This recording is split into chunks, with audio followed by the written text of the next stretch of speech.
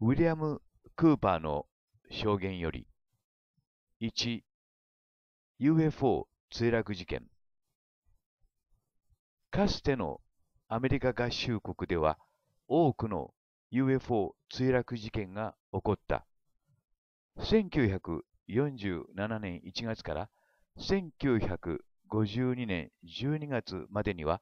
少なくとも16機の円盤の破損事故あるいは墜落事故があり、65体のエイリアンの死体が回収され、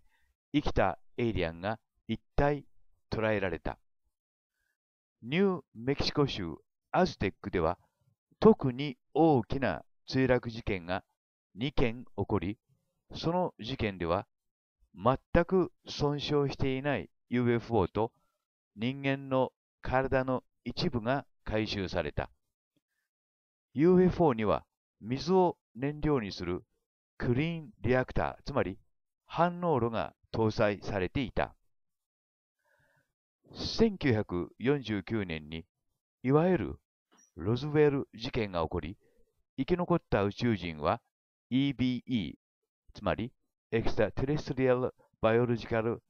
Entity と呼ばれ、この時の状況がグラッジ13に記載された。EBE は突然消えて人間が作った建物の壁を平気ですり抜けることができたため、壁の外側に電磁場を張り巡らされ、張り巡らせ、閉じ込める必要があった。EBE は質問に対し望まない問いには答えずにいたが、2年後には様々な情報を開示し始めた。EBE の身体システムは葉緑素を基本にしたもので、非常に植物に似たやり方で食物をエネルギーにしていた。1952年の中頃、EBE は病気で死んでしまった。2、UFO 調査機関の設立と隠蔽工作。アズテックへの UFO 墜落事件、つまり UFO 墜落事件を調査するために、アメリカ政府公式の UFO 調査プロジェクトサインが組織された。また、UFO、エイリアンに関わる情報公開をいかにコントロールするかという目的で、1947年に CIA、中央情報局が大統領戒厳令により設立された。1947年12月9日にハリー・ S・ トルーマン大統領は諜報機関にアメリカ国民から UFO や宇宙人の存在について隠すようにと通達を行った。DCI、つまり Director of Central Intelligence が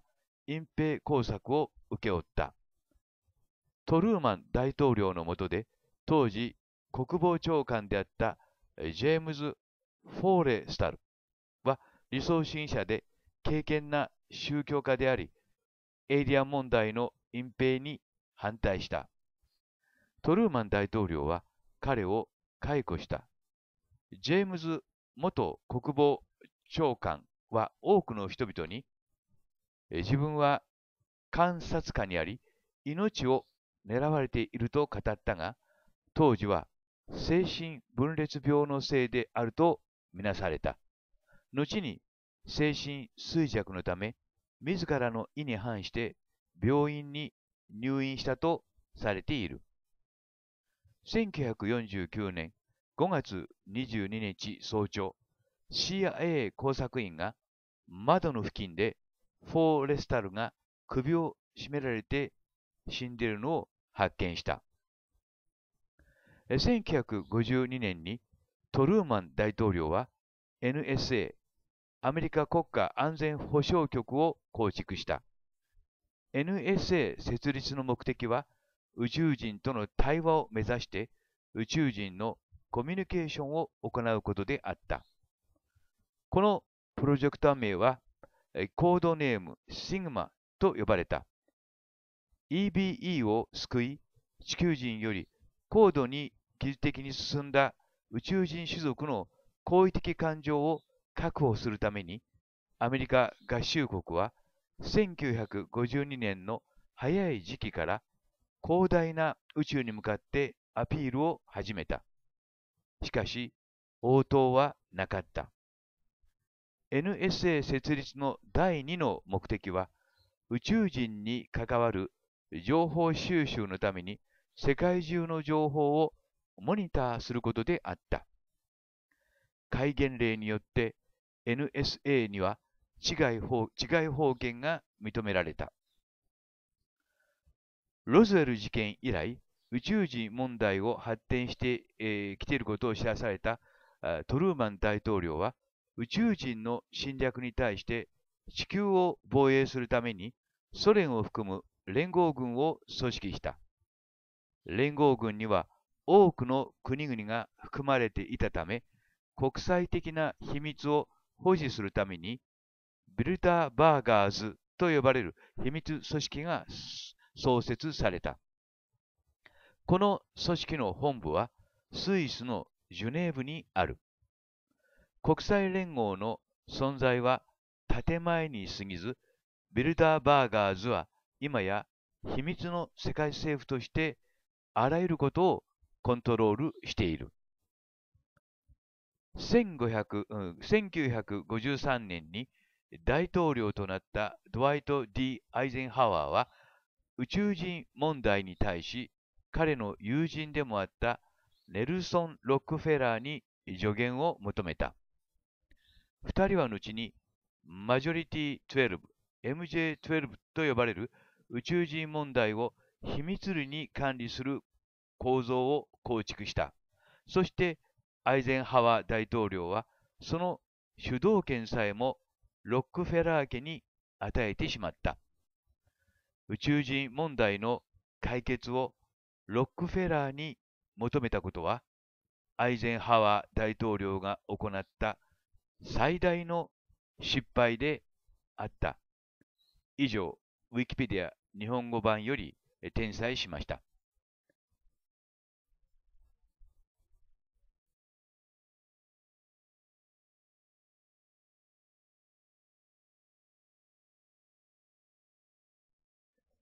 one of the first to begin exposing the US government for what it truly is. William Cooper was killed by authorities, they say, on November 5, 2001. Bill Cooper, author of Behold a Pale Horse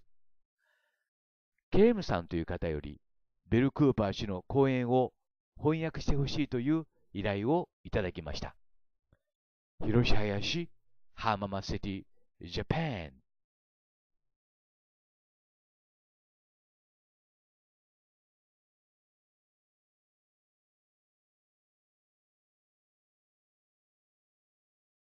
This colony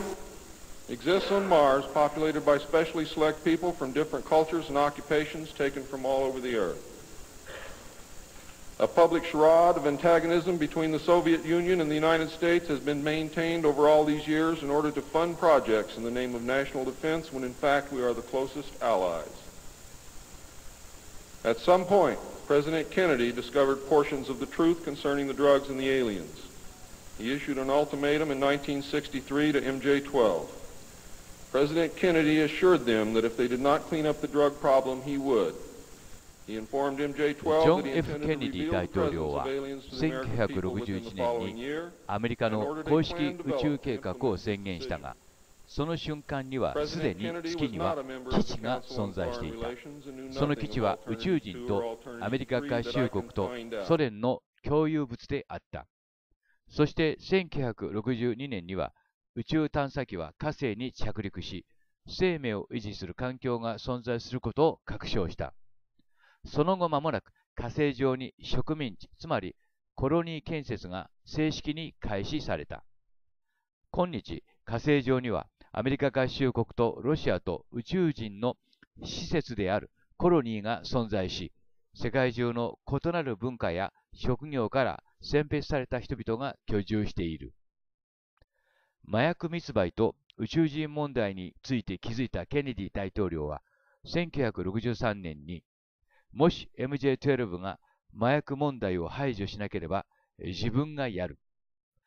次年度内にアメリカ国民に宇宙人の存在を明らかにするつもりである。と MJ12 に最後通帳を発行した。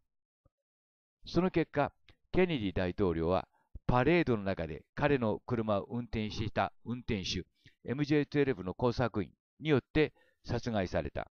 その様子はフィルムにはっきりと映っており、暗殺者の名前はウィリアム・グリアである。それを目撃した証人たちのすべてが事件の2年以内に殺害された。アメリカ合衆国最初の宇宙探査や月着陸は UFO によって監視されていた。アメリカ、ソ連、そして宇宙人の月面基地はルナと名付けられていたが、この基地はアポロ宇宙飛行士たちによって目撃され、映像に収められた。月には植物が成長し、季節によって色を変える地域すら存在する。月の大気には雲が観測され、撮影されている。月は重力場を持つため、人間は宇宙服なしで月面を歩くことができる。我々は月や火星や金星などの惑星の真の姿、現在所有している科学技術について騙されてきた。宇宙飛行が可能なオーロラと命名された機種がエリア51に存在する。また、宇宙人のテクノロジーを利用した原子力航空機がネバダの S4 にある。パイロットはすでに惑星間宇宙飛行を成し遂げ、月、火星及び他の惑星に到達している。1969年に人間と宇宙人の間の対決がドロシー地下研究所で勃発した。宇宙人たちは人類の科学者の多くを人質に取り、デルタフォースが彼らを自由にするために送り込まれたが、歯が立たなかった。結局、ある怪獣策が取られ、宇宙人宇宙人との間の交流は再開された。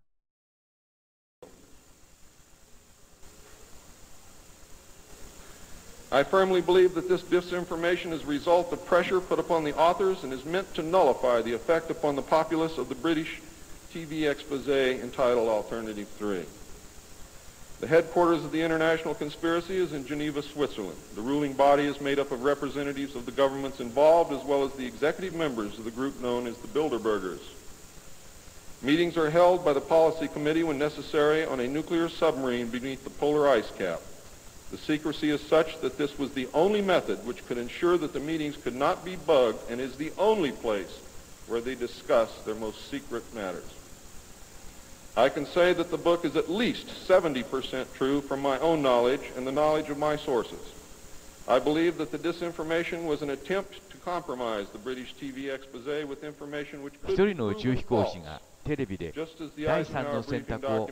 暴露するという番組が1977年にイギリスで放送された。この番組第三の選択には様々な情報操作がなされた。第三の選択にはエイプリルフールの4月1日に放送されたとキャプションが挿入されており、一見フィクション番組であるかのように見える。第三の選択の70%は真実であるが、残りの部分は明らかに間違いとわかる情報で、イギリスのテレビ局の暴露番組の信用を失わせるという狙いがある。同タイトルの第三の選択という本に書かれてあるいくつかの事実も情報操作であり、それは証明できる。それはテレビ番組の方の第三の選択の効果をゼロにするために意図されている。It has, I think, three or four letters at the top. I forget what they are, but John Lear knows what they are. There is a picture of Saturn and a picture of Mars in the photograph. And in the background, there are seven stars, which are strangely shaped just like the stars in the Pleiades group.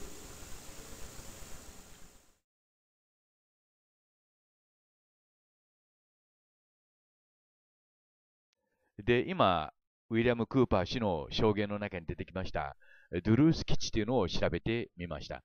で、ドゥルース基地っていうのはここにありますけども、まあ、炭鉱にカモフラージュした基地というふうに考えてよいのでしょうか。で、まあ、地下ですね、7、8階の、まあ、深い基地であると。で、そこに、まあ、エイリアンがいて、そしてエイリアンと人間の間に戦争が起きたと、まあ、ウィリアム・クーパー氏は証言しています。で、これがドゥルース基地の内部だそうですけども、このドゥルース基地からこうした写真がリークされてるんですね。そして動画もリークされています。で、この動画で注意していただきたいのはですね、瞬きしているという点ですね。それから、瞬きに合わせて額の、まあ、筋肉といいますか、皮がですね、微妙に、まあ、動いているという点ですね。まあ、つまり仮面やお面ではないということですね。そして、まあ、そして体が小さくて、まあ、首が細いと。ですから、まあ、被り物ではないように私は感じています。まあ、本物か偽物か、それは皆さんの判断にお任せするしかありませんのでね、これ以上の証拠はありませんので、ただ私、奇妙だなと思うのはですね、この目が黒いでしょ？影になって。それで目の部分をですね、明るくしてみて、どんな目をしてるのかなと思って、あの、いろいろと高度、明度を上げてみたんですけども、あの、目が映らないんですね。ですから何かこう、サンシェルターの、なんてますか、フィルターのようなものを目にかけてるのかなというふうに感じています。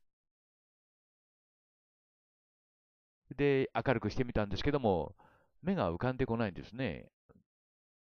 まあ、こういうふうにすれば何かの、何らかの形でね、目の形が浮かんでくるかなと思ったんですけども、あの、そこがまあこの動画の奇妙なところですね。瞬きして、微妙にその額に筋肉が動いているところ、それから体が小さくて、首が細くて、そして、まあ、頭が大きいということですよね。今ポーズしてみたんですけども、それで明るくして、明度を上げて、ガマを下げたんですけどもね。そして、コントラストを上げてみたんですけども、やはり目らしいものは見えないと。で、まあ、これは、まあ、こういうのはですね、イエスか、イエスでないかという、まあ、範囲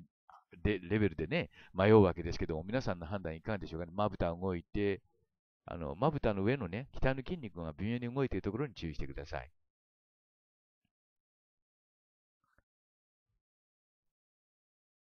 まあ、こういう、まあ、フェイクかね、リアルかわからないような、まあ、まあ、もっともね、明らかに偽物であれば私も取り上げることはないんですけども、何かしら本物っぽいものですから、皆さんにこのように提示いたしました。で、この動画の最後に iMark、つまりアンケート用紙を用意しておきますので、まあ、これは偽物だよっていうのは方は0、それからこれは本物だよっていうふうに思われる方は100のところに、まあ、あの、チェックを入れてください。ということで今日の動画は終わります。Bye for now.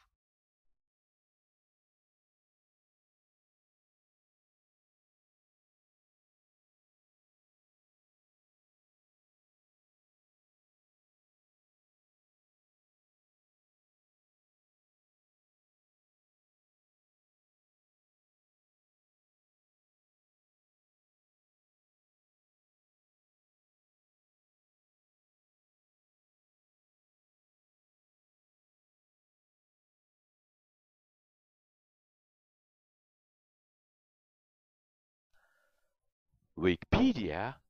writes about the Aztec UFO incident as follows. The Aztec New Mexico UFO incident, sometimes known as the other Roswell, was a flying saucer clash alleged to have happened in 1948 in Aztec, New Mexico. The story was first published in 1949 by author Frank Scully in his Variety magazine columns and later in his 1950 book Behind the Flying Saucers. In the mid 1950s, the story was exposed as a hoax fabricated by two confidence men, Cyrus M. Newton and Leo A. Gebauer, as part of the fraudulent scheme to sell supposed alien technology. ニューメキシコ州のアズテク UFO 事件、つまりもう一つのロズベルとして知られている事件ですが、その事件は1948年にニューメキシコのアズテキで起きました。空飛ぶ円盤の墜落事件ではないかと言われています。その事件は1949年に作家のフランク・スカリーによって雑誌のコラムとして紹介されました。またそのコラムはその後1950年に空飛ぶ円盤の影でという本にもなりました。1950年代にその物語は2人の男、つまり S.M. ニュートンと L.A. ゲバーバーによって作られたインチキだということが分かったそうです。インチキだということが分かったそうです。つまり2人はエイリアンの技術を売り込もうという、まあそういった作業を働いたというのです。広島よし、浜松セリ、ジャパン。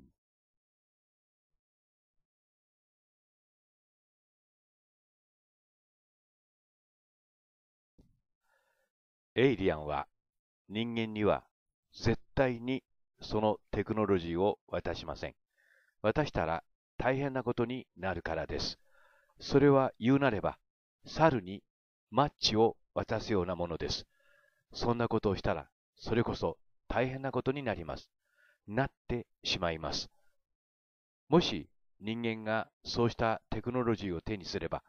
それはそのまま水爆以上の水爆。世界の勢力図が一変します。仮にどこかの国の独裁者が手にしたら、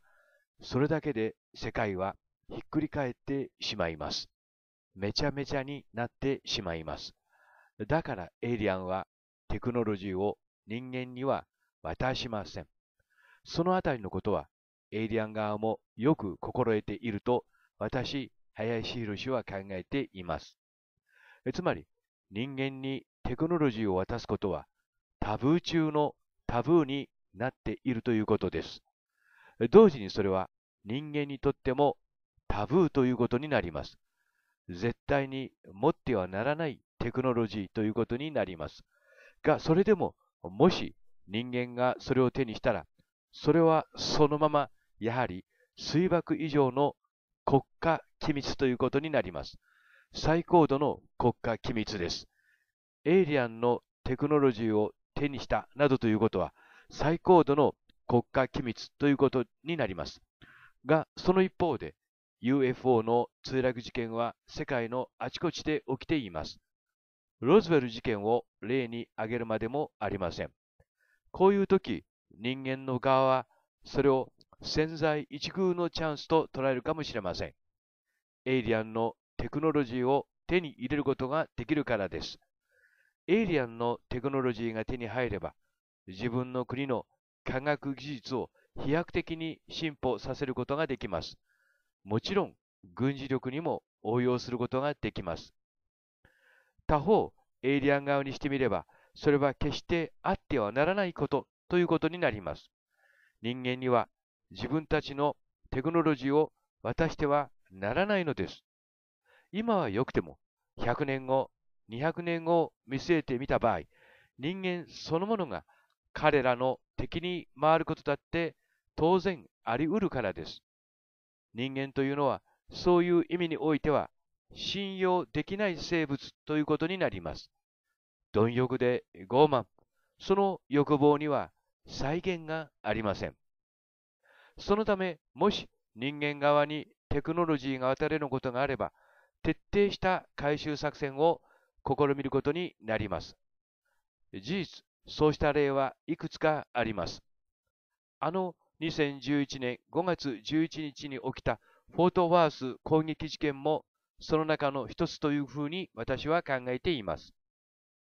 が、今日のポイントはこれについてではありません。今日のポイントは、つまりは隠蔽工作。そのため人間側はエイリアンのテクノロジーを手に入れたということ自体をどんなことがあっても隠蔽しようとします。国家ぐるみでそれを隠蔽しようとします。例えば UFO の墜落事件があったとします。が同時にそれは隠すべきものであって、決して公開すべきものではないのです。その国がどこかの国と敵対関係にあれば、なおさら隠すべきものなのです。だから、そうした墜落事件があると、国は国として UFO の回収作戦に乗り出します。2016年3月2日、ナンバー1774で紹介したブラジル・バルジニア UFO 墜落事件でもそうです。最近では最も注目すべき UFO 事件と言われていますが、その時も徹底した回収工作と隠蔽工作がなされました。それがどう徹底したものであったかは、また1774号をご覧になってください。で、この動画の中では、1948年の3月に起きたアズテク UFO 墜落事件を例に挙げ、それについて考えてみます。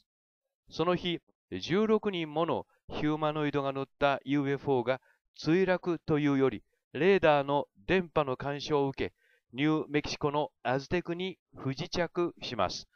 もう一つのロズウェル事件とも言われていますが、その時も徹底した隠蔽工作がなされました。どう隠蔽工作がなされたかは、この動画の中で説明しますが、一度はその事件を追いかけていた作家をハウラー、つまりとんでも作家というレッテルを貼るまで追い詰めています。そして、どこの国でも同じようなことがなされていますが、それなりの肩書きを持つ研究者が登場し、墜落事件を否定するというよりは、UFO の存在そのものを否定したりします。UFO は存在しないとかなど。が、アズテクの UFO の不時着事件はありました。現地の調査員から FBI の長官宛に出されたメモが出てきたのです。そのメモもこれから紹介しますが、そのため、その事件は今、UFO 研究者たちによって最初から洗い直されています。が、こうした例はそれこそ5万とあります。わざと偽情報を流し相手を釣る。釣っておいて嘘であったことを後で暴露する。暴露してその相手を笑い物にする。相手の信用をなくさせる。このアズテク UFO 墜落事件でも、そんな隠蔽工作を垣間見ることができます。というわけで、今日のポイントはその隠蔽工作についてです。この後にもう一本、オーストラリアのビクトリア州で起きたウェストール UFO 目撃事件の動画をつなげておきますが、その時もやはり徹底した隠蔽工作がなされています。それがどういうものであったか、今日はそのあたりに焦点を当て、この問題を考えてみたいと思います。なお、最後に一言。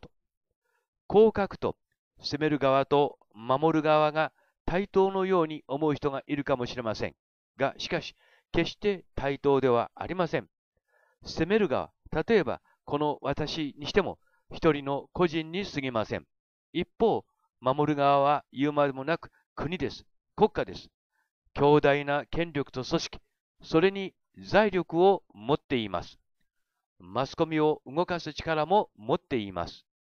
つまり決して対等ではないということです。そんなこともどうか心のどこかで理解した上でこの動画をご覧になってください。では画面を見ながら説明します。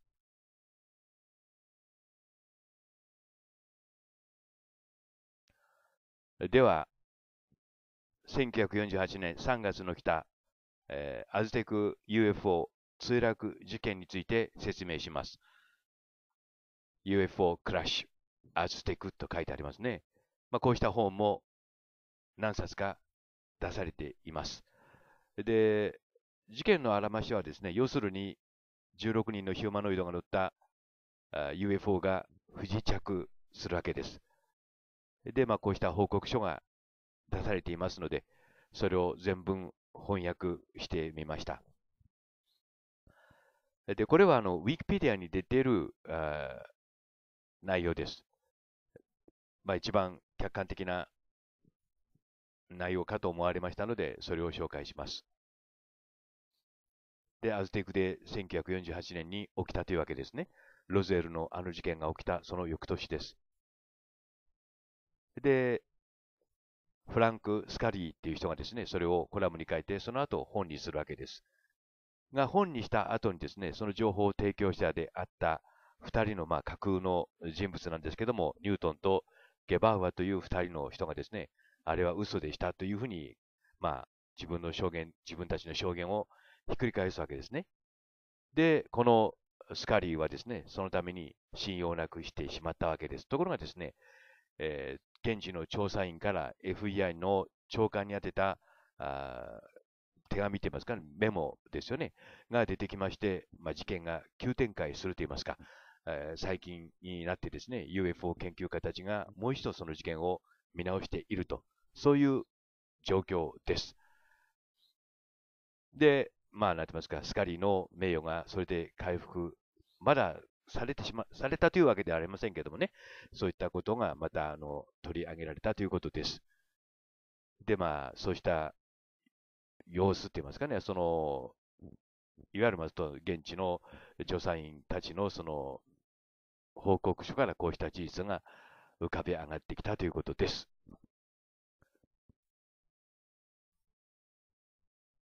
で、やはりこう、日本でもそうですけども、まあ、それなりの肩書きを持った人がですね、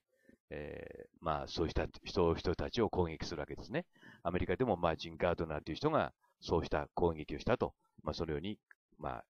書かれています。それで、スカリーは闇に葬られた形になりましたけども、その事件があったことを示す、まあ、公文書がですね、出てきたというわけです。これはその公文書の一部ですけども、この部分だけ翻訳してみます。まあ、これだけで十分かと思います。まあ、それによればですね、事件はあったということになります。名前、個人名の書いてある部分は黒く塗りつぶしてあります。で、直径が15メートルであったと。で、それぞれ、まあ、3機どうも不時着したみたいですね。公文書によれば。で、その辺がまあスカリーの書いた本の内容とはやや違うという点になります。で、身長はたったの90センチであったということです。で、レーダーが、まあ、空飛ぶ円盤に作用してコントロールを失ったようだと、まあ、そのように報告してあるわけです。つまり、事件はあったということになります。で、一度は闇に葬られたこうした報告書が再び検証されるということになったわけです。で、私はですね、実はこの報告書を見ていてですね、右下の UFO の形に着目しました。これはですね、あの、オーストラリアのビクトリア州のウェストオールで現れた UFO の形によく似ています。同じではありませんけどもね、共に証言に基づいて書かれたものであるということですね。今、ちょっと見ていただきましたのは、えー、不時着した時にですね、えー、コックピットのガラス、ガラスといいますかね、それが破れて、えー、木があの中に入ってきた様を表現したものだそうです。まあ、こうした長い報告書があるわけですけども、まあ、今日はあの全文こ、これは翻訳できませんでした。で、もう一つその絵を見ていただきたいんですけども、まあ、これがですね、あの金星から来たと言われている、まあ、その乗組員たちですよね。身長が90センチ前後だったそうです。まあ、このような形、あの UFO の上にエイリアンが乗ってますね。そしてこの絵なんですね。あのコックピットを突き破って、まあ、木がですね、多分地球の木がですね、地球上の木がこうして突き刺さってきたということなんですね。で、これがあの現場だそうです。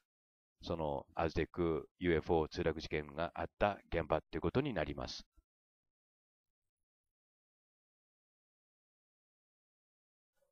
で、この後に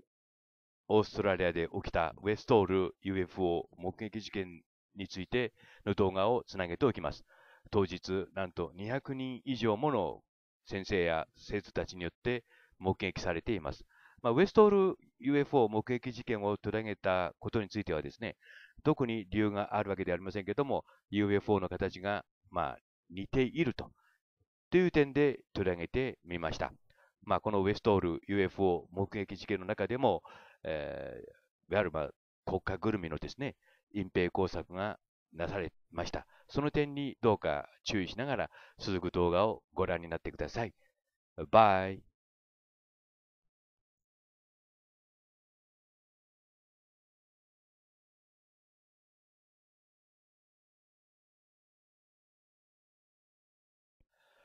The Westall UFO encounter incident is an event that occurred on April 6, 1966 in Melbourne, Victoria, Australia. Around 11 o'clock a.m., for about 20 minutes, more than 200 student teachers at two Victorian state schools witnessed an unexplained flying object which descended into a nearby open wide glass field. 1966年4月6日、オーストラリア・ビクトリア州でウエストール UFO 遭遇事件というのが起きています。午前11時頃からおよそ20分間、2つの州立学校の200人以上もの教師と生徒がその UFO を目撃し、その UFO は近くの空き地に降りてきたと言われています。学校中がパニックになったことは言うまでもありません。報告によれば、その物体はその後、北西の方向に上昇していったと言われています。広島市浜松シティ、ジャパン。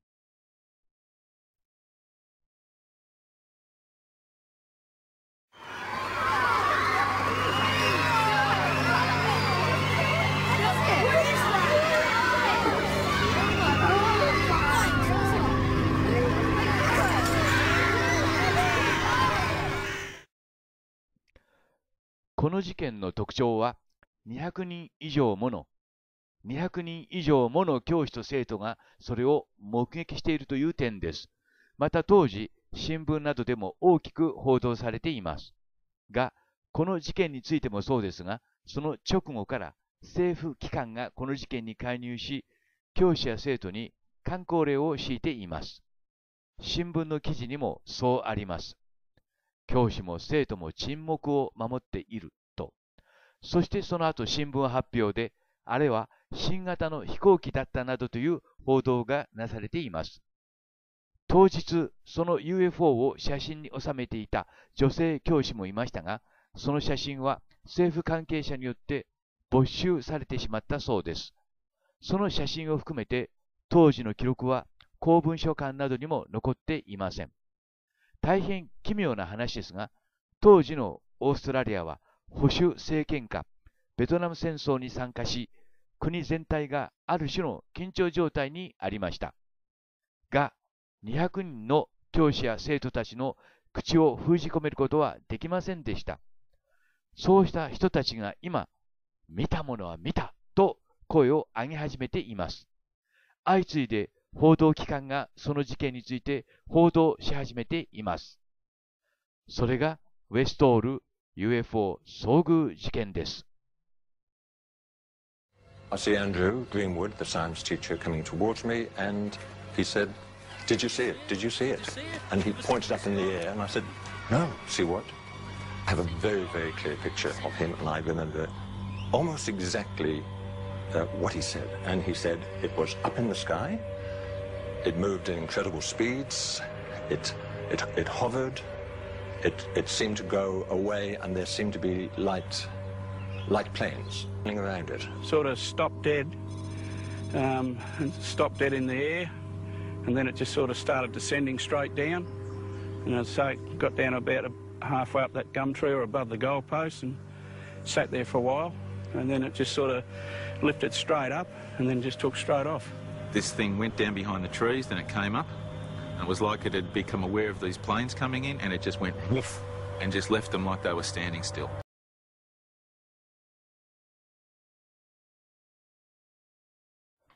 ウエストール中学校で起きた事件をですね、画面を見ながら追いかけてみたいと思います。まあ、こうしたイラストはですね、まあ、当時の人たち、目撃者の証言によってできたものだと考えられます。まあ、このようなえー、ディスク上のですね、円盤 UFO が現れたと。で、その一機の UFO が近くの空き地に着陸したということなんですね。そして、まあ、こういう人たちがですね、その時の様子を証言し始めています。で、こうした、まあ、事件が起きたということなんですけども、まあ、まず第一に考えられるのはこれは何かということなんですけども、まあ、飛行機や、まあ、当時のね、ヘリコプターではこのような、まあ、パニックにはならなかったものと考えています。で、まあ、約200人の教師や生徒たちがそれを同時に目撃したということなんですね。で、それが、まあ、当時はですね、観光令が、まあ、引かれてですね、そして、まあ、黙っていると。一人、女性の先生がですね、このようなカメラを取り出して写真を撮ったと。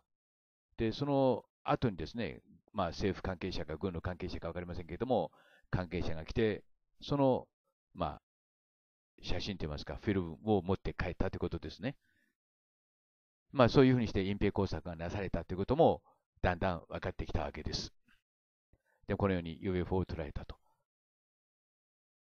で、こうやって奇妙なのは鳥がたくさん描かれている点ですね。え、鳥たちもパニックになったということなんでしょうか。で、一人のやはりこう研究家の方がですね、まあ、追跡調査をなさったわけですね。で、この人も証言者の先生の一人なんですけども、別の先生がですね、見たか見たかってやってきたと。それで何を買っていって、まあ見ると、そこに、まあ、UFO が飛んでいたということなんですね。まあそうした証言をですね、元にこうした絵が描かれたということになります。で、この人はあの辺りを飛んでいたということを今証言しているところですね。で、この人もそうなんですね。その、まあ、降りて、そして空中に上がって、そして瞬間に、えー、風とともに去っていたと。まあ、そうした様子がこうして、まあ、動画化されて、えー、発表されているわけです。で、まあ、これ、この前後にですね、もう一つ、この、こなんて言いますか、別の事件が起きてるんですけどもね。で、この、まあ、ウェストール中学校の生徒たちはですね、まあ、パニック状態になった。しかし、一人だけ、その、この絵を見ると女の子ですね、が UFO に近づいていったと。で、数メートルの至近距離まで行ったということなんですそうですね。でそうした証言も出てるわけです。まあ、大変興味深いと言いますか、えー、UFO が着陸する、まあ、飛んでる様子はね、よくあの、まあ、紹介されてますけども、着陸してるっていうところは、まあ、あの、したという、まあ、遭遇事件というのは少ないわけですよね。で、まあ、そういった意味でも大変興味があるわけですけどもね。で、まあ、これはあの、まあ、オーストラリアでパイントリー、あるいはガムトリーって言いましたよね。ユーカリの木の林がある。そこをまあ、軍の関係者か政府の関係者がやってきて、あこれはあの救急車、救急隊ですね。そして、その女の子を、まあ、助けたということを、まあ、あの、表現されていました。で、まあ、何しろ、ずっと封印されてきたと言いますかね。あの、冒頭で言いましたように、1966年と言いますと、まあ、オーストラリアまで白豪主義の国でしてね、そして、まあ、あの、ベトナム戦争を一緒にアメリカ軍と戦っていた時代でもありましてね、大変まあ保守的で、えー、そうしたまあ自由な雰囲気というのはなかったということを、えー、どっかで言っていましたね。まあ、ともかくこうした UFO が着陸したということです。そしてそれをですね、まあ、目撃者の一人の人がですね、このような、まあ、詳細な、なんてますか、絵にして、まあ、残していたと。ということなんです。まあ、これが一番正確な絵ではないのかなと思いますけどもね。まあ、こうした UFO が現れたということなんですね。まあ、この方もですね、懸命にその時見たものを記録に残そうとなさったんでしょうね。その気持ちは大変よく理解できます。で、こうしてまあパニック状態になったと。まあ、何か大変なことが起きたということですよね。あるいは大変なことと言えること以上のことが起きたということになります。まあ、その時の予想、この動画の中で語っておられますけども、興味のある方はですね、今、ウェストール、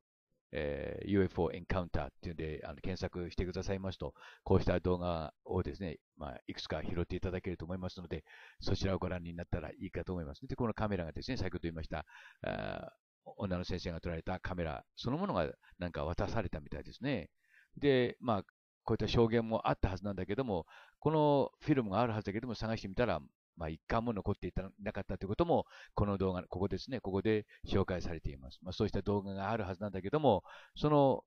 缶を開けてみたら中は空っぽであったということが、まあ、分かったと。まあ、この、まあ、研究者の方はそのように報告しています。まあ、こうした事件が起きたわけですね。ここから、まあ、新聞記事、当時の新聞記事なんですけども、まあ、みんなが沈黙を守っているということが書いてありますね。で、女の子の、この女の子の意見も、見た様子もね、あ証言も書かれているわけですね。で、まあ、このような形だったという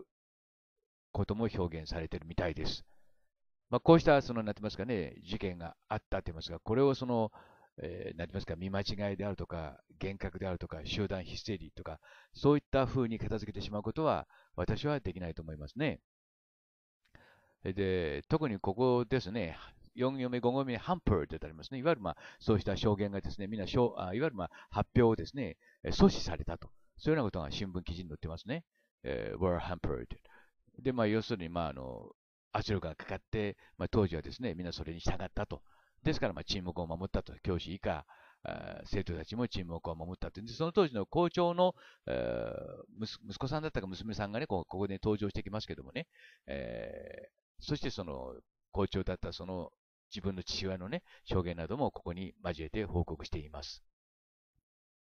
で、当時、この女の子だった人もですね、えー、がですね、まあ、まあ、逆光催眠ですね、をかけられ、かけて、まあ、当時の様子を語っている様子も、この動画の中で紹介されています。そしてですね、こうした人たちがですね、40数年と言いますかね、年月を経てですね、そして、まあ、皆さんがね、少しずつ証言始めたということなんですね。で、その中のもう一つの証言がですね、その着陸現場を覗いていた子供がいたんですね。そしたら、軍の関係者が来てトラックからね、兵隊さんが降りて、そのあたりを、まあ、ガイガーカウンターのようなもので、放射能を測って帰っていったということが報告されています。で、この、その時、その、こちらのね、松林の方から、パインツリーの間からこう、も見ていた子供たちがいたんですね。そうした子供たちが今は、まあ、まあ、私とほとんど同じ年齢になってるんですけども、そういう方たちが今証言をなさっているということになります。そしてその、UFO が着陸した後にはですね、円形の、なんてますか、円が、模様のようなものが残っていたと。まあ、これがその円形の模様のようなものなんですね。えー、まあ、ここに UFO が着陸していたということになるわけですね。草がまあ、倒れているところに注意してください。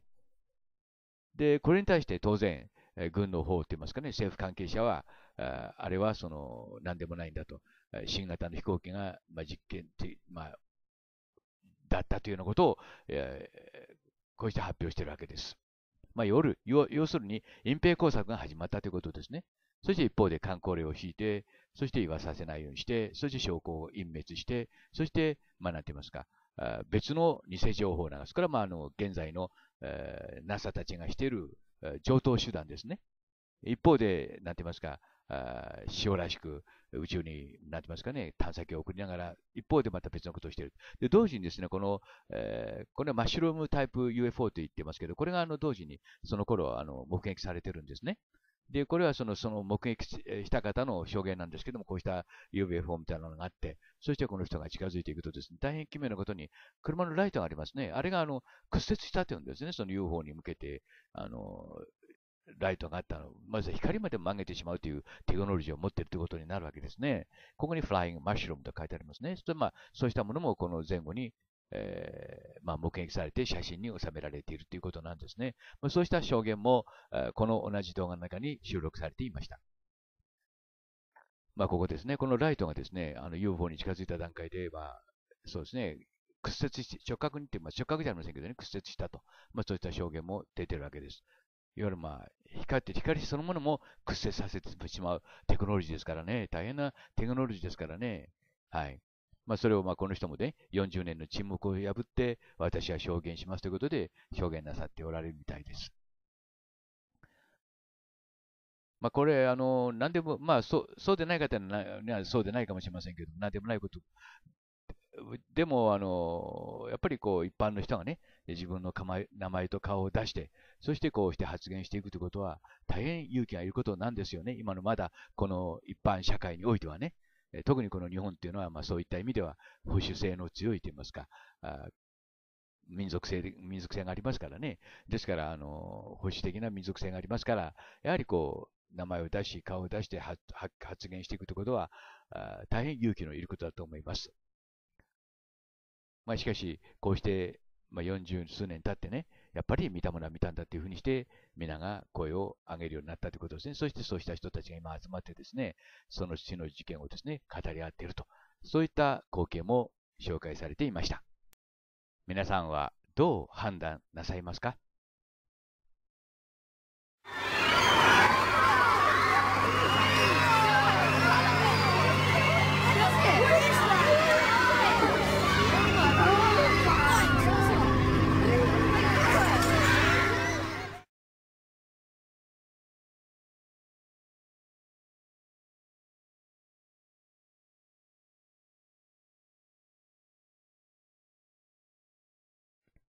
こうした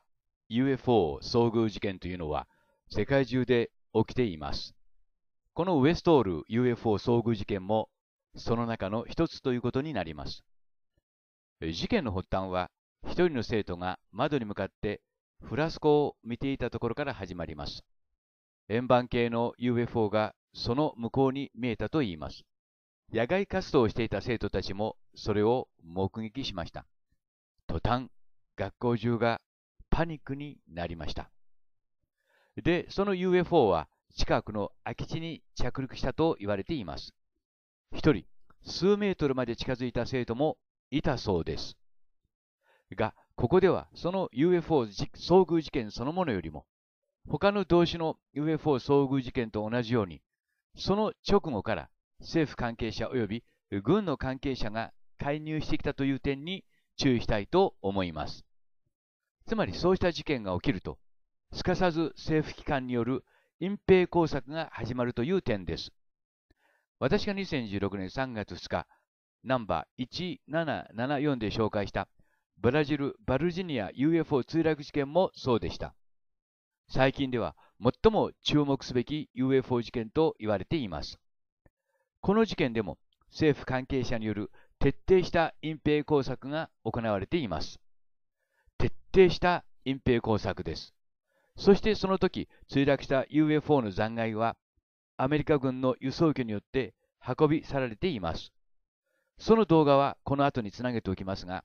なぜでしょうか？アメリカのある UFO 研究家はこう証言しています。アメリカでは UFO 関連の事件は水爆と同じ水爆と同じ最高度の国家機密になっていると。最高度の国家機密です。ではなぜ最高度の国家機密なのでしょうか言うまでもなく、例えば UFO の残骸にしても、最高度のテクノロジーと科学的知識がそうした、まあ、残骸の中に隠されているからです。仮に UFO の飛行方法が解明され、そのテクノロジーを人間が手にしたとしたら、それだけで世界の飛行機はもちろん、戦闘機、さらにはロケット、ミサイル、衛星などの飛行方法もすべて一変します。それによって世界の軍事バランスも一変します。水爆以上に最高度の国家機密であると言われても、私は驚きません。まさに UFO 問題は水爆以上の最高度の国家機密ということになります。で、そうした視点で、私たちはもう一度、私たち周囲を見回してみる必要があります。つまり一方に UFO 肯定派の人たちがいる。もう一方に UFO 否定派の人たちがいる。今時 UFO、それそしてそれを操るエイリアンの存在を否定する方がどうかしていると私は思うのですが、UFO 否定派の人たちがいる。それはそれとして仕方のないことかもしれませんが、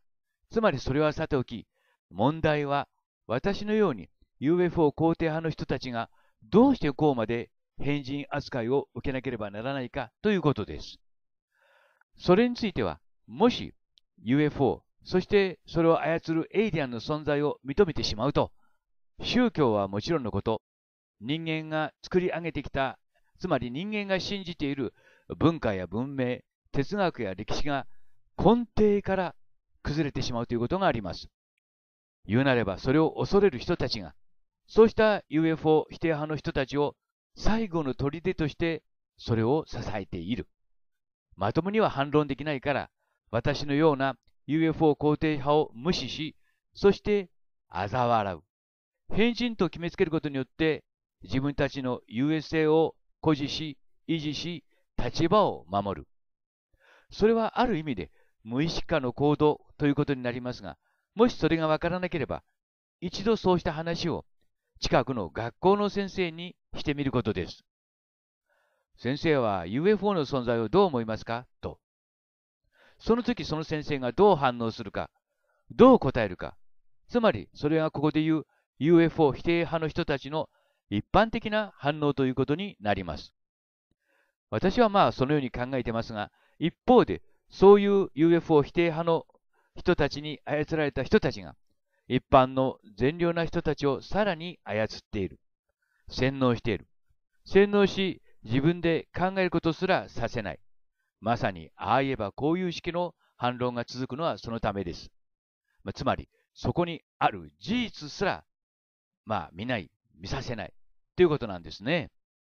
で、今日はオーストラリアで起きたウェストール、まあ、中学校ですけどもね、起きた UFO 遭遇事件を取り上げてみました。詳しくは YouTube などで広く紹介されていますので、興味のある方は一度そちらをご覧になったら良いでしょう。えー、太郎森本さん、情報どうもありがとうございました。Thank you very much for watching and bye.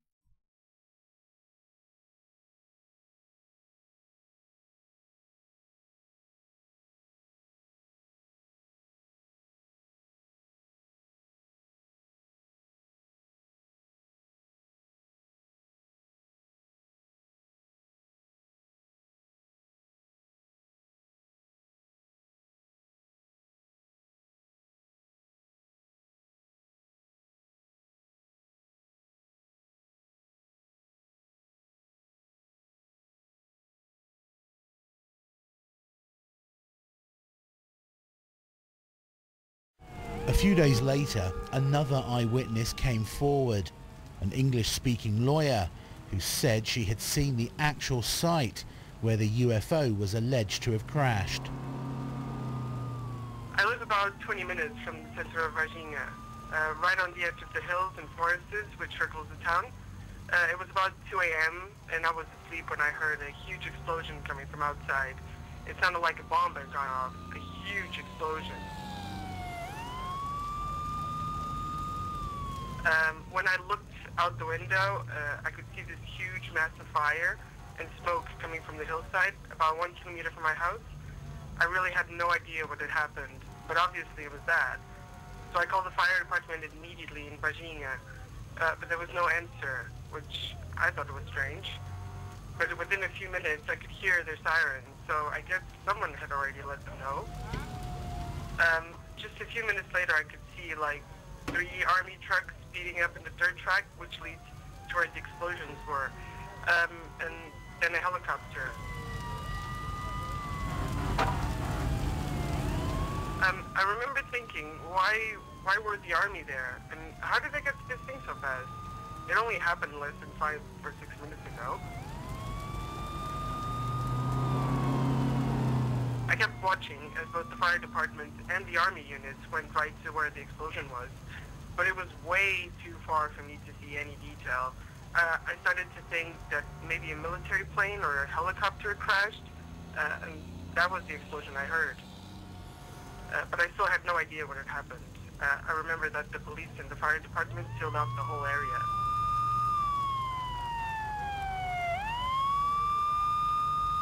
It was only later in the day when I heard the news about these alien things, these creatures in town, and I realized that that might have well been, probably was, the crash site. The, that's when it all started making sense. I mean, I couldn't see much, just fire and smoke and stuff, but something crashed out there. I can 100% confirm that.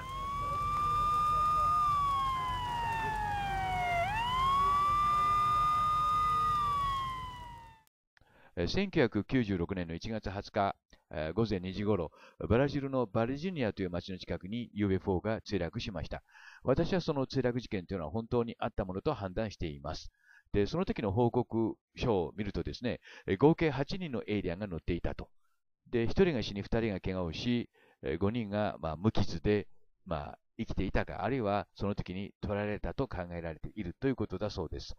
で、この事件の特徴はですね、多くの目撃証人がいてですね、現在100人から200人の人たちが、まあ、現在も生きているということだそうです。まあ、この点がですね、あの、ロズウェル、まあ、UFO 墜落事件と大きく異なる点ということになります。で、今、再びこの動画を見ていただいてますけども、この動画の中にですね、大変奇妙なものが映り込んでいるということです。で、これは何かということなんですね。で、当初私はこれ、火の粉かなと思ったんですけども、火の粉のような激しい動き方はしていませんね。で、まあ、こうしたケースの場合は消去法で考えるわけです。まあ、家の明かりか、もしくはヘリコプターによるものか、よるものなのかということですね。で、まあ、よく見ていますと、まあ、その点が移動していることからですね、どうも家の明かりではないと。となると、ヘリコプターかということになりますけども、ヘリコプターという飛行機のね、特有の他の光が見えないということですね。と同時にですね、これと同じような光がですね、あのフォートバースまあ、エイリアンによる攻撃事件の中に、まあ、その出てくる光に似ているということです。まあ、その動画はこの後にすぐつなげておきますから、皆さん自身でまた判断していただければ結構ですけども、まあ、そうして比べることによってですね、この光が、まあ、ただ単なる、まあ、ヘリコプターの光ではないというふうに判断できるということになるわけです。まあ、ヘリコプターの可能性はないとは言えませんけどもね。まあ、その後はですね、皆さん自身の判断によるものということになります。まあ、ともかくも、この、まあ、あの、バルジニアのですね、UFO 墜落事件の時にはですね、このような奇妙な光が現れていたということですね。まあ、それは当然のことかもしれませんね。仲間の UFO が墜落したわけですからね。当然他の UFO がその周辺を飛んでいたとしてもおかしくないわけです。今、ここに見ていただいていますけども、まあ、拡大してみると分かりますように、円形のような感じがしますね。まあ、光ですから円形でないかもしれませんが、円形のようなものということになります。で、これは何かということになるわけです。まあ、この続く後、すぐにですね、あの、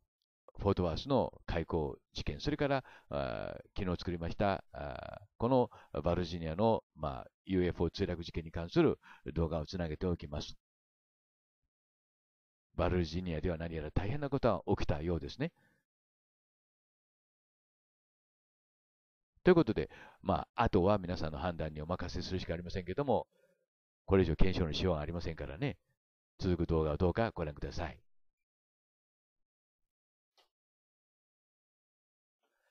Hiroshi Hayashi will present you a video forum on ancient mysteries and wonders of the world. Today's story is about Fort Worth military base in Texas, USA. It is widely said that UFOs attacked space facilities at Fort Worth in Texas, USA in the evening on May the 11th or 12th, 2011. Why was it attacked? Why was it attacked by UFOs on that evening? Some people claim that the incident is closely connected with a Vimana-shaped UFO found in Afghanistan shortly before the attack. Here is my report on the very mysterious incident occurred at Fort Worth, Texas, USA in 2011. 2011年の5月11日もしくは12日の日没後、アメリカ軍の中でも最重要基地の一つであるテキサスのフォートバース基地が UFO に攻撃されました。フォートワース基地というのは、アメリカ軍の中でも宇宙軍の司令部がある基地としてよく知られています。その攻撃により、500人前後の兵士が亡くなったとも言われています。その信憑性はともかくも、この事件は実に不可解な事件です。その夜、フォートワース基地は30分前後、謎の開口に包まれます。音もなく、またそれに気づいた人もほとんどいなかったようです。事件前後の写真を比べても、そうした攻撃の痕跡は全く見られません。で、それについての動画を発表した後、そのフォートワース基地から1マイルのところに住む視聴者から連絡が入りました。何でもその人自身も気づかなかったそうです。が、事件は確かにありました。その様子を動画に収めていた人がいたのです。で、その動画をご覧いただいてますが、その事件の直後、アメリカ政府は次のような公式発表をしています。開口現象は、雷に打たれ、基地の変圧器、トランスフォーマーが故障したために起きたものであると。が、この説明をに納得する人はいません。近くに雷雲があったことは事実ですが、動画を見る限り稲妻は時々光る程度です。それに雷によるものなら、こうまで繰り返し開口現象が起こるはずはありません。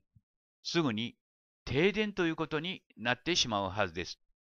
ともあれその事件はありました。アメリカ政府がこうした公式発表をしていることがその証拠です。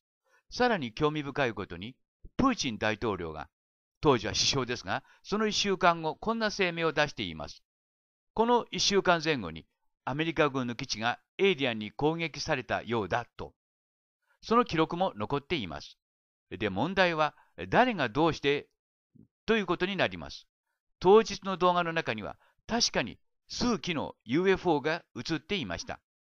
また、その UFO が、U、フォートワース基地を攻撃したという説の根拠にもなっています。で、私の方で検証してみたところ、その UFO は、かつてエリア51で働いていたことのあるチャールズ・ホール氏が目撃した、いわゆるトール・ホワイトと呼ばれるエイリアンが使っているスカウトシップ型 UFO と形が酷似していました。トール・ホワイトはカナダの前国防大臣の議会証言によれば、エリア51でアメリカ軍と一緒に仕事をしているそうです。現在の今も一緒に仕事をしているそうです。となると、ここで大きな矛盾が生じてきます。トール・ホワイトは一方でアメリカ軍に協力しながら他方でフォートワース基地を攻撃してしていたということになります。トール・ホワイトがフォートワース基地を攻撃するはずはないということになります。となると、誰が何のためにフォートワース基地を破壊したのか、ある攻撃したのか。その理由の一つとして、多くの研究家が挙げているのが、アフガニスタンで見つかったビマナ型の UFO、つまりエイリアンのクラフトです。そのクラフトをエイリアンとの約束を破り、アメリカ軍がフォートワークス基地に持ち帰ってしまったというのです。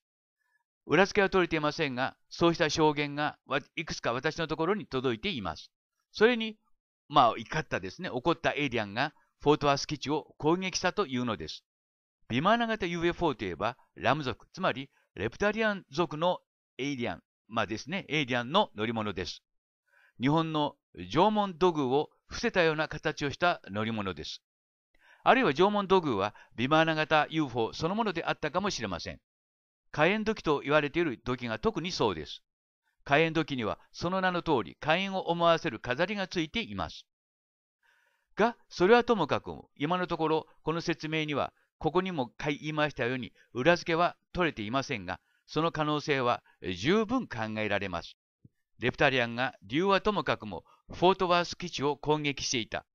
つまりその夜、フォートワース基地の上空に現れた UFO はフォートワース基地を攻撃していたのではなく、そうしたレプタリアンによるフォートワース基地の攻撃を偵察、もしくは攻撃そのものを阻止しようとしていたということになります。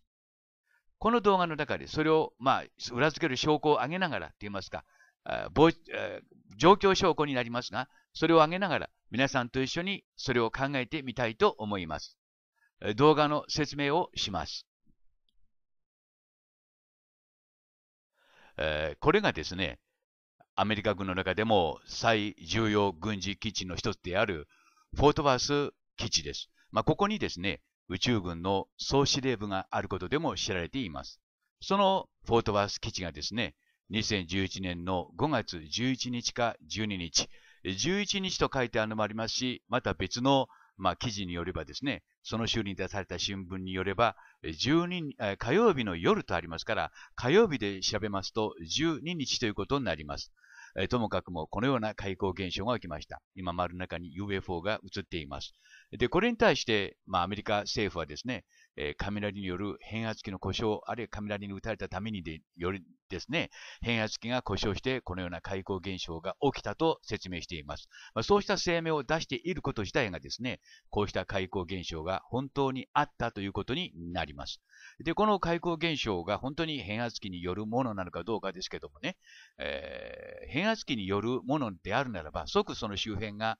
全て停電ということになるのではないでしょうか。あるいは電気が切れてますから、次の変圧器に、まあ、その、こうした開口現象が起きるということはありえないわけですね。もう電気を止めてしまいますから、今、パッと映ったのが、雷の光、いわゆる雷光だと思われます。まあ、そういった中でこういった開口現象が起きたわけですね。で、これが CG によるものではない。つまり、えー、光を後からつけたものでないということはですね、この光ることによって、その周辺のがですね、明るく照らし出されるということです。で、近くのビルも注意深く見ていただくとわかりますが、その反射光が映るんですね。今、パカパカパッとこう5つか6つ並んでいるところに、あの、解放が出ましたね。まあ、というふうに考えていきますと、これは CG でもない、また、カメラリによってですね、変圧器が故障して起きた開口現象でもないということになります。開口現象はありましたね。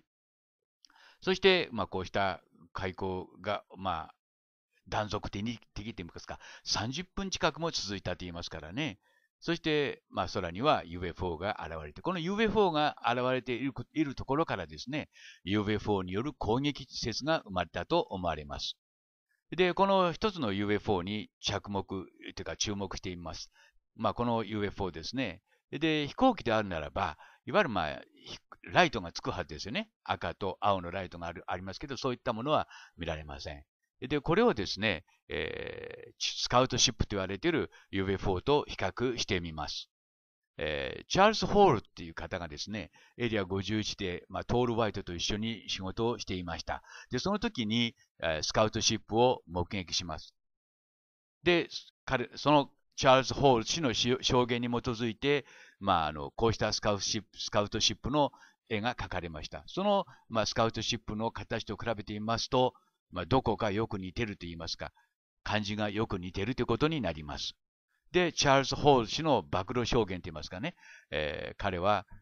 退役後20年ぐらいしてからこの本を書き上げるわけですけども、その本を要約したのがこの原稿ということになります。かなりの量ですけども、全文翻訳してみました。で、その中に、えー、まあ、今言いましたスカウトシップが、あの、絵が載っていました。で、これはあの大変興味深い資料です。えー、で、そのスカウトシップがですね、えー、大きさは結構大きいんですよね。あのバスぐらいの大きさがあるということだそうですから、私たちが知っているバスぐらいの大きさだということです。えー、これがその絵なんですね。で、まあ、スカウトシップというふうに呼ばれています。まあ、トール・ワイトのスカウトシップということになります。このスカウトシップと、えー、先ほど言いましたフォートワースの上空に現れた UFO が私は形がよく似ているというふうに判断しています。まあ、ということですね。で、まあ、そのチャールズ・ホール氏の証言を捉えて、カナダの前国防大臣のホンポール・ヘイデア氏が議会で証言しています。まあ、そういった意味でも信憑性は高いというふうに判断して良いのではないでしょうか。で、これがスカウトシップです。高速以上の高速、まあ、高速以上でね、宇宙を航行することができるそうです。そして左がフォートバースで現れた UFO の、えー、拡大写真です。そして右が、えー、チャールズ・ホーシンの証言に基づいて描かれたスカウシップシップの絵です。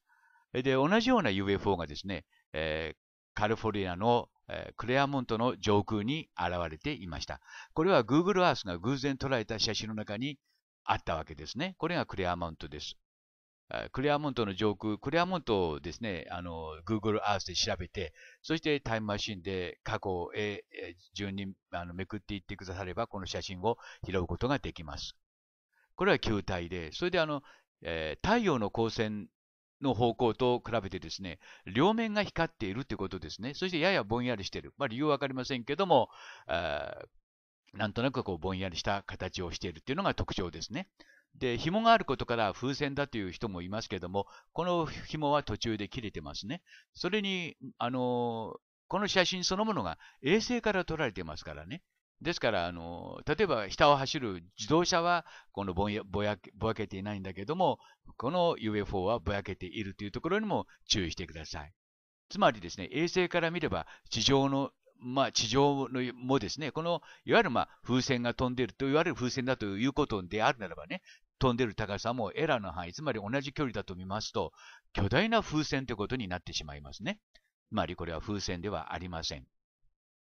まあ、こうしたあの写真がですね、偶然 Google Earth の中に映り込んでいたということになります。ですからまあ、家よりも大きいということになりますよね。少なくともね、あの衛星から撮っているというところに注意してくださいよ。衛星から見ればですね、地上500メートルも地上0メートルも同じ距離と考えるわけです。エラーの範囲ですね。で、フォン・ポール・ヘディアさんの証言を聞いていただきます。Former Prime Minister of Defense Force of Canada, Mr. Hum Paul Heller, stated as a Congress that UFOs are as, as real as airplanes flying over the head. This is a very shocking news, and also he said at least two of them are probably working with U.S. government. I believe other species that I learned about were long ago called tall white. Uh, this is a story about it. Thank you.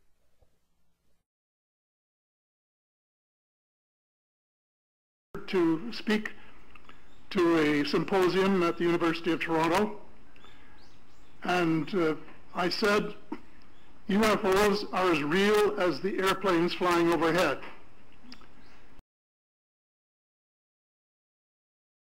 On Earth at this present time, and um, at least two of them probably working with the United States government. I, the seventh, the other species that I learned about uh, not too long ago was called the tall whites. To become spiritual beings and practice the one tenet that the world's major religions have in common, and that is the golden rule.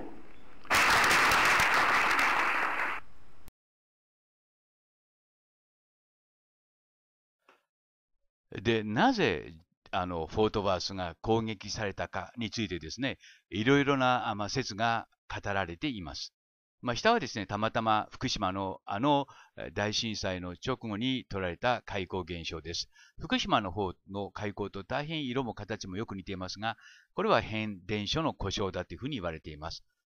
しかも福島の場合は1回だけですね。で、これがフォートワースですけども、繰り返しになりますけども、この UFO を拡大してみます。これがその写真です。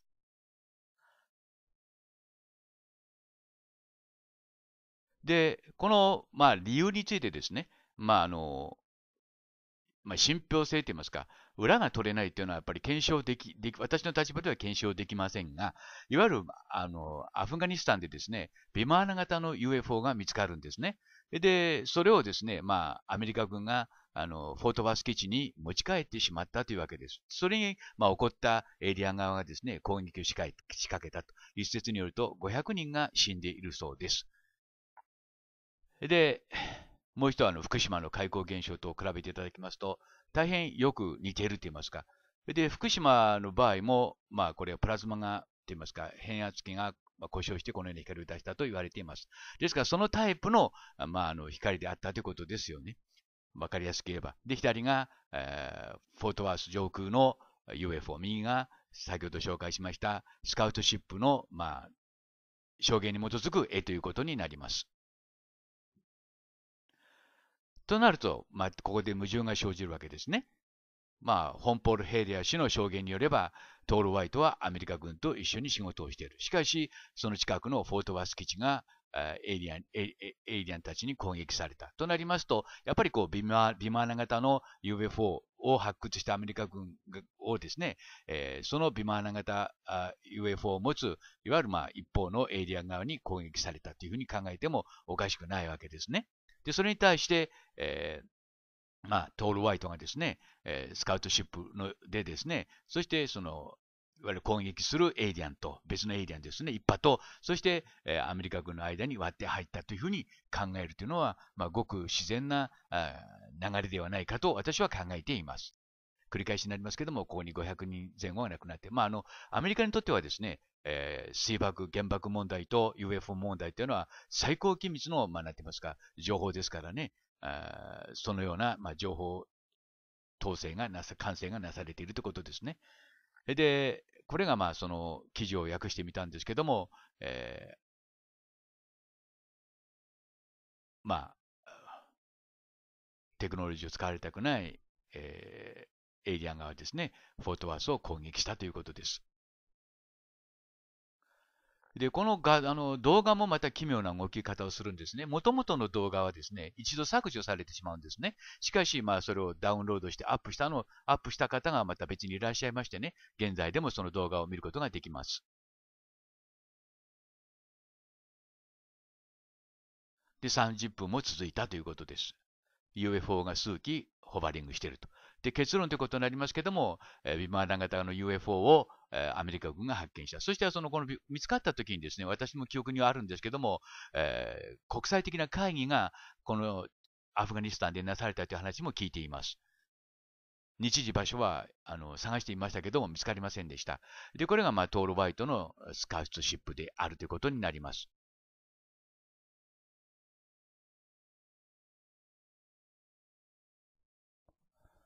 Unexplained Mysteries website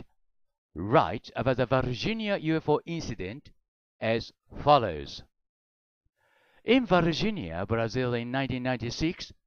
it is reported that a number of living aliens were captured following a UFO crash. Local residents claim that the aliens roamed the streets of the town in the early hours of the day of January the 20th a number of which got rounded up and escorted away safely by the armed forces aided by local firemen. Rumors suggest not all the aliens got captured and some escaped to the nearby jungle. Reports suggest a total sum of eight aliens, one dead, two injured, one later dead, five unhurt and living unknown, not captured. A number of separate encounters through the day got reported in the Brazilian place, and there are currently 100 to 200 eyewitnesses still living in Virginia. Most of the reports claimed sightings of an alien with a large head and very thin body with V-shaped feet, brown skin, and large red eyes. 1996年の1月にブラジルのバルジニアに UFO が墜落しました。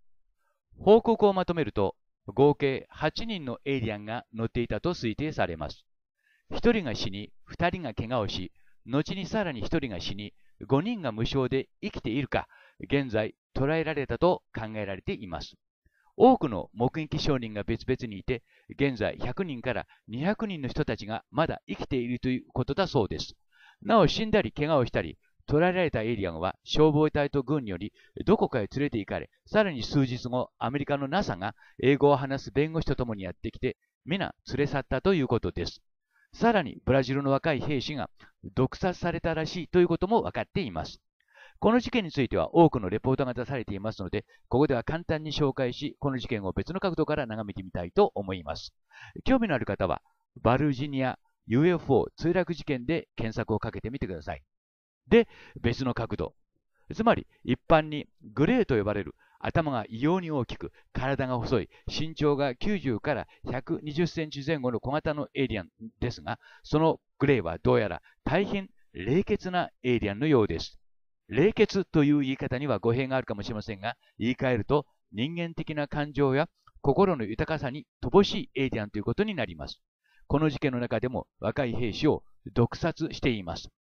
映画、ミシとの遭遇で表現されているような、どこか子供らしい楽しさと、どこか可愛らしさを持ったエイリアンでないことだけは、どうも事実のようです。根拠はありませんが、バルジニア UFO 墜落事件を調べているうちに、私はそういう印象を持つようになりました。広島市浜松シティ、ジャパン。それでは皆さんをブラジルのバルジニアに案内します。1996年にここで UFO の墜落事件が起きました。この事件の特徴はいくつかあります。まず第一に目撃者が大変多いということ。二つ目にエイリアンが生け捕りにされたということ。そして3番目に生き残ったエイリアンがですね、そのその後、このバルジニアの街の中をですね、ローム、すなわちうろついてですね、1週間前後にわたって街中が大騒動になったということなんですね。で、これが多分、まあ、その時に死んだエイリアンの映像ということになるのではないでしょうか。で、事件のあらましもう一度繰り返してみますと、1996年の1月20日に、バルジニアで UFO が墜落したと。その様子は、まあ、多くの方、多くの人に目撃されていると。で、計8体のエイリアンがいたと思われると。で、2体は死んで、1体は怪我をして、まあ、そして残った、えー、エイリアンは無償で、まあ、いたというわけですね。で、まあ、その時の様子を表したこのドキュメンタリー番組がこの番組ということになります。で、この、まあ、なんて言いますか、墜落現場行ったら消防隊員がですね、大変奇妙な、え生き物を見たと。まあ、そのように表現してますね。strange creatures ですね。そのように書いてあります。で、まあ、ここで子供、まあ、街の中でね、そのエイリアンが、生き残ったエイリアンがエイリアンがですね、まあ、あのローンした、いわゆる、まあ、うろついたというわけですね。ですから、街中の人たちがそのエイリアンを見ているわけですね。で、この人たちもエイリアンを見たということで、背の高さはこれぐらいで、これぐらいだったということを今説明しているんじゃないかと思います。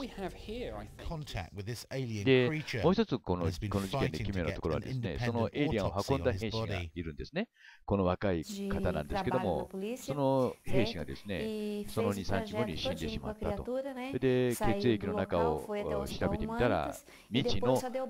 毒物が見つかったと。そして、まあ、そのこの亡くなった兵士はですね、即埋葬されてしまったんだ。そしてまあ、家族の人がですね、そんなはずはないんだと、元気だったんだと、何も間違ったことはないはずだということを主張なさっておられるようですね。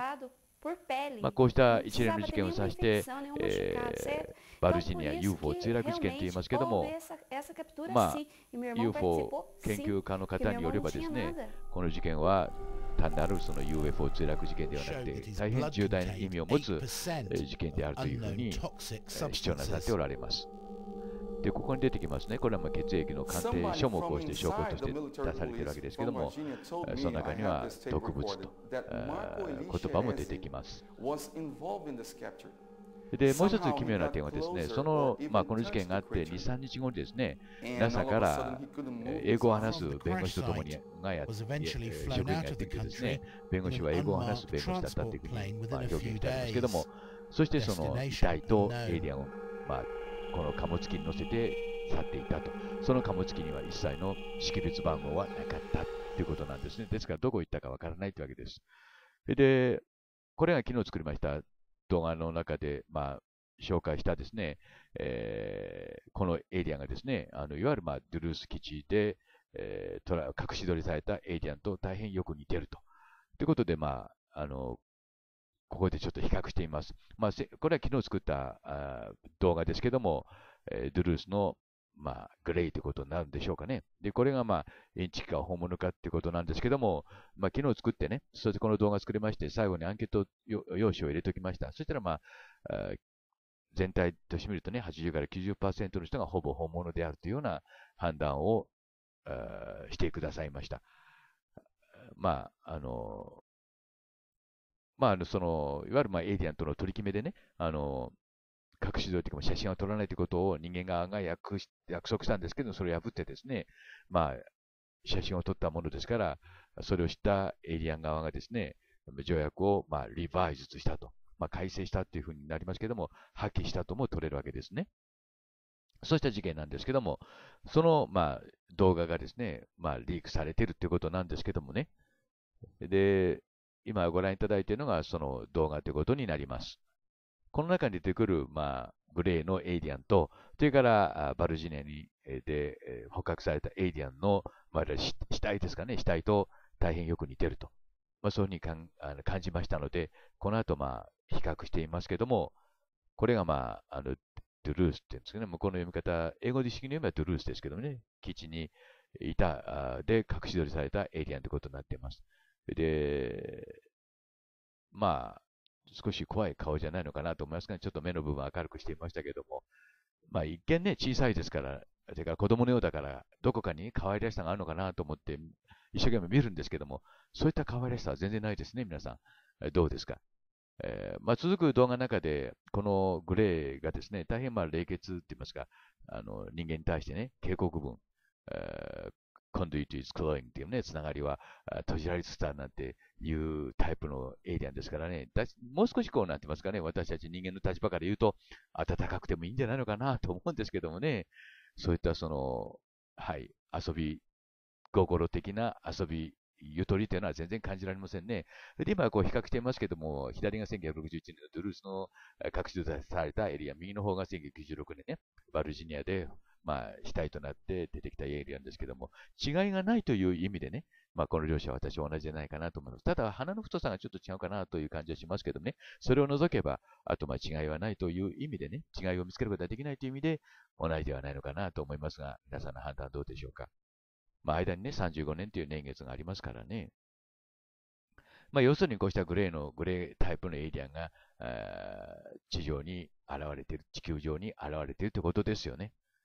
で、似ている、これ似ているエイリアンがもう一人で、まあ、二人いるんですけど、一人は、これ私があのフェルムパンで発見したあのエイリアンの顔なんですけどもね、やっぱりこう似てるような感じがしますね。ただ頭小さいかなと思います。と同時に、これはハンプシャー、UK のハンプシャーで、えー、クロップサークルとして書かれたエイリアンですけども、やはり似てるのかなと思いますね。このハンプシャーであられたあのエイリアンはですね、あの横線だけで、いわゆるテレビの操作線と同じような方式で書かれてるんですね。だから特殊な方法で書かれたエイリアンなんですよ。で、目の吊り上がり方も大変よく似てるし、ただ頭はちょっとね、右の方は小さいからどうかなっていう部分もありますけども、まあ、目の周りがね、黒いところなんかそっくりじゃないのかなと思いますね。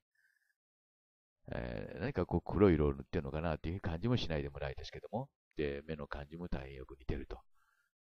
ですからまあこれはグレーじゃない、グレーじゃないと否定することの方が難しいんじゃないのかなと思う意味でね、グレーというふうに私は判断しています。まあ、あの、この顔を見て優しい、優しさがある顔には見えませんね。大変厳しいと言いますか、頭の切れる、えー、まあ、エイリアンっていう感じはしますけどもね。皆さんどうでしょうか。あまり優しさを感じませんね。という意味で、タイトルを冷血という言葉を使いましたけども、それほど間違ってないんじゃないと思います。続くビデオの中でそれを少しずつ証明していきたいと思います。えー、それでは皆さん、Bye for now.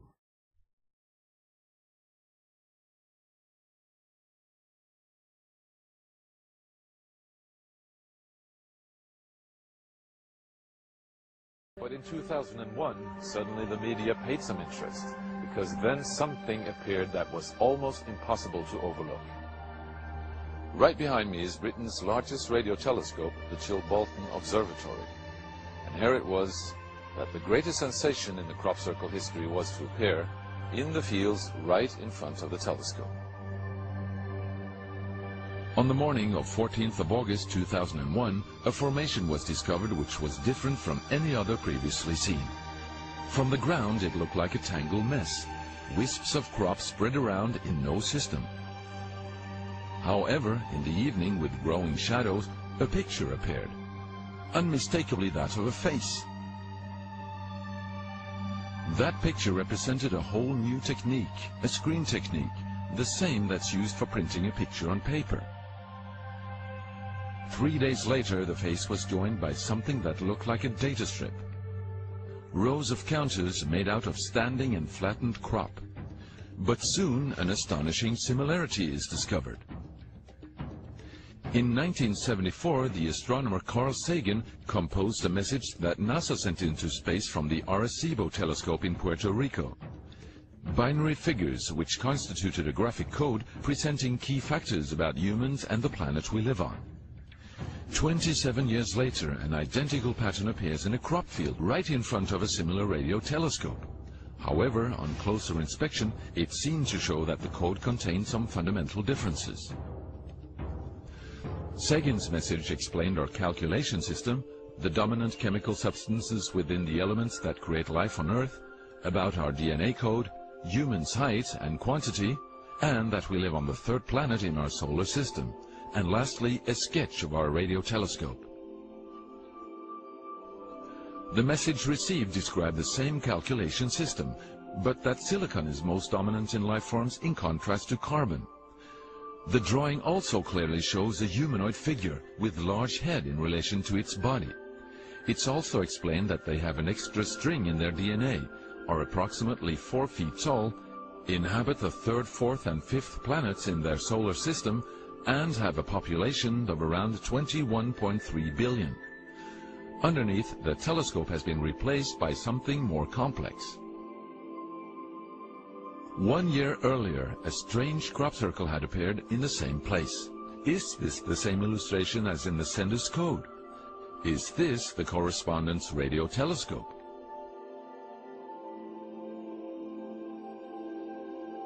If this is not an extremely clever and well-calculated joke conducted by humans, is it a serious response from an alien civilization? The Chilbolton crop formations really gave new life to the speculations of who is behind this. Is it aliens? Where do they come from? And what is their purpose of this type of communication? The following year, very nearly on the same day, a new picture appears that gives new force to the alien theory, this time in Crabwood, near the town of Winchester in Hampshire. Once again we see a face, but this time there is an unmistakable resemblance to something extraterrestrial.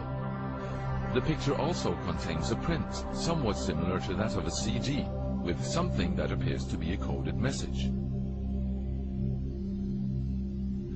This formation also has a new type of design, this time with horizontal line patterns of variable thickness, similar to that of a TV picture. The message on the disk is similar to a spiral band built up of many boxes. But data expert Paul Weige manages to decipher the message. And I had to enlarge the, the disk quite substantially on the computer and run some image analysis over it to make it clear so that I could see what was a standing tuft and what was flattened. And while I was doing this, I noticed that every so often um, there was almost a mistake in the diagram. It, it was like there was a tuft, where the little square tuft, it had done sort of half size. I thought that's a bit odd, and it, and it seemed fairly regular. I was going round, and I sort of counted up, and it, it was sort of literally every sort of eight bytes or whatever. And I thought, oh, eight bytes, and you know, from computer side, um, is obviously some sort of binary code. Um, so then I you know, did the straightforward thing. I just converted it into ASCII, uh, which is the standard sort of you know, uh, computer language that you, you, encode the alphabet in. Um, and of course, I then started to get words forming out, and I thought, oh, you know, getting somewhere here. So I then did the whole thing for the whole lot, um, and, and got this message. The message is in English and reads as follows. Be aware with the bearers of the false presence and broken promises. Much pain, but is still time. Believe there is still good out there.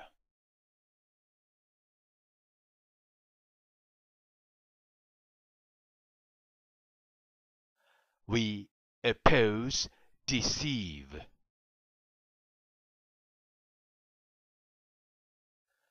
And the conduit is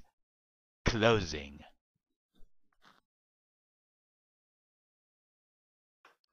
まあ、エイリアンからからのですね、警告文というふうに捉えるのが良いのではないかと思います。偽の存在ということは、まあ、作られた、いわゆる虚構の存在だということに人間が気がつきなさいと。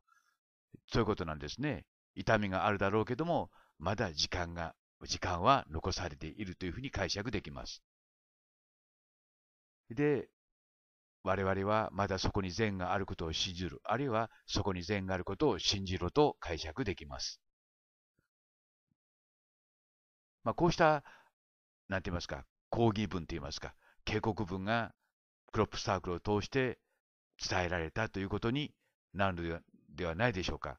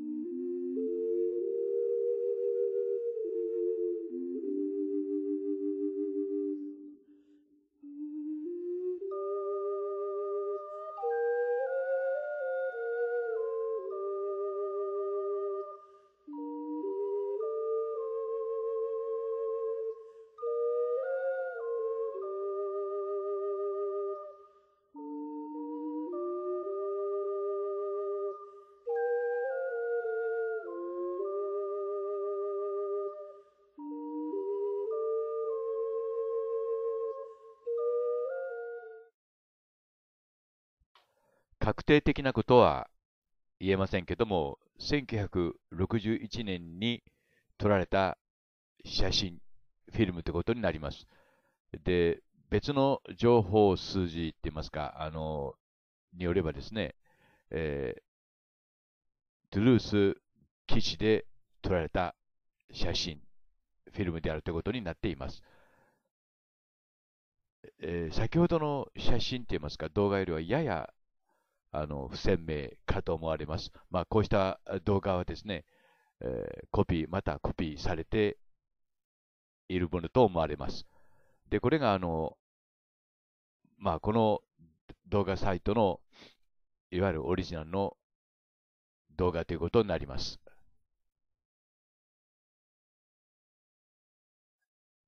で、微妙な目の上の筋肉の動きですね。で、まあ、これは1961年のに隠し撮られた、まあ、フィルムであるとするならば、当時ですね、8ミリカメラがやっとできたかできなかったか、あるいは日本で、えー、発売になったかどうかというような時期ですからね、あの、カメラがなかったわけではありませんけども、まあ、こうした映像が撮られたということですね。で、同時にこんな写真もリークされているわけです。で、これがずいぶん長い間ですね、偽物か本物かということで、えー、議論されてきましたけども、今見ていただいた動画の、動画に出てくる、まあ、グレー型エイリアン、まあ、らしきと言ったら正確なんでしょうか？比べてみますと、大変よく似てると。ただ、顔の幅がね、あの、違うと言いますか、写真を撮る角度が違っているのかなというふうにも感じられますけども、要するに、両方とも偽物か、両方とも本物かという、まあ、ここまで来ますとね、二者択一の問題になるのではないかと思われます。で、皆さんの判断でですね、前々後でこの動画を紹介しましたけども、約90%の方がですね、まあ、どちらともわからないか、本物であるというふうに、えー、投票してくださいました。まあ、偽物であるという意見も数パーセントですけども、ありました。で、皆さんの判断いかがということになるわけですけども、今ちょっとあの、横縮めをしてみました、左の写真をですね。そうしますと全く同じようになるということです。で、もう一度検証していますね。で、ドゥルース基地というのは、まあ一応、私に喋った範囲ではここにあると。一見すると炭鉱のように見えますけども、これがドゥルース基地であると。まあ、炭鉱にカモフラージュしているとも考えられるわけです。で、全体に7層になったあ基地であるということなんですね。まあ、こうしたドゥルースベースであの調べますと、こうした写真が出てくるわけです。それで、その中に、まあ、こうした写真も混ざって出てくるわけですね。となりますと、この写真はやはり、まあ、この KGB からこの動画が出てるっていうふうにああのまあ言われてますけども、それはあの確認のしようがありません。まあ、要するにこの、この動画がですね、ドゥルースから出たのであれば、先ほどのカラーのですね、スティール写真もドゥルースから出たというふうに考えられるわけです。で、前々回も言いましたけど、この目の上の眉毛ね、それから瞬きの仕方などが、まあ、例えば1961年のね、まだコンピューターの全くなかった時代ですよね、にこうしたものが果たして制作可能であったかというでも一つのポイントじゃないかと思います。で、首が細いですね。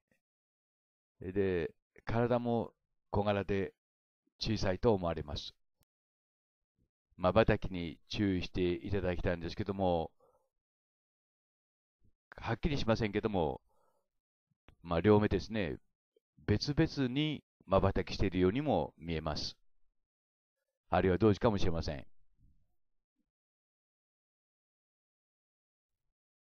で、まあ、同時に瞬きしたり、別々に瞬きしているという感じがしますね。まあ、人間でもそれできなくはありませんけども、このあたり、まあ、ほら、ね、交互にこうなってますが、瞬きしたという感じが今、しました。そんな点も、この動画を見るときの一つのポイントではないかと思われます。で、目のあたりがよくわからないんですね。今一つと言いますか、まあ、暗い影に隠れてしまうという感じです。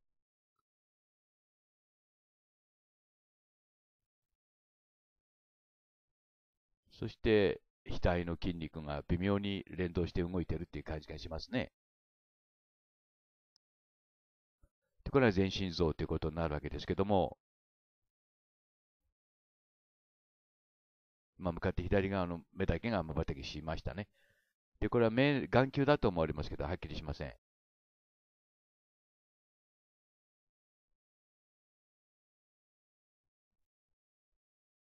少し動きがせわしないと言いますかね、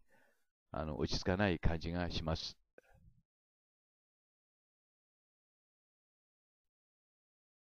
で、先ほど冒頭でお見せしましたのを4倍のスローで見ていただきます。まあ、日本風に言えば、日本語風に言えば4分の1スローということになるわけですけどもね、4倍スローで見ていただいています。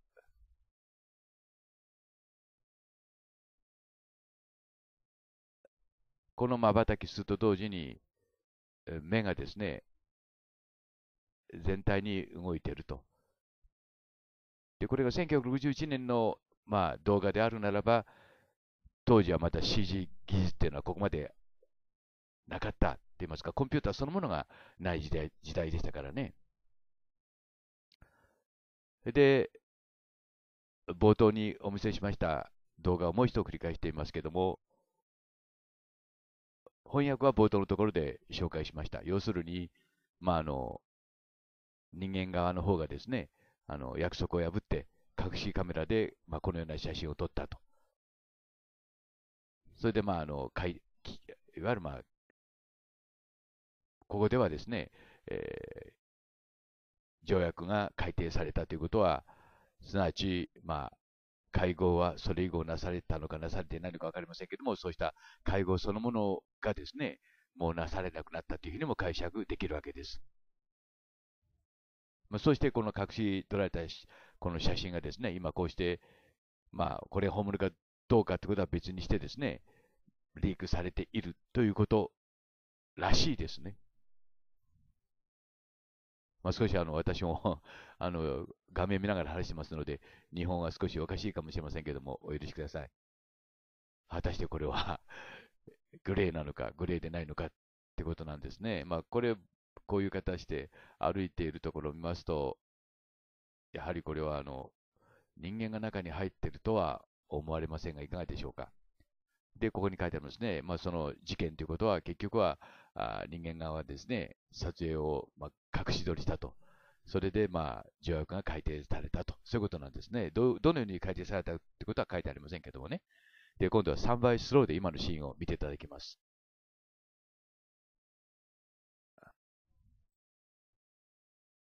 いわゆるまあ着ぐるみなのか、ぬいぐるみなのか、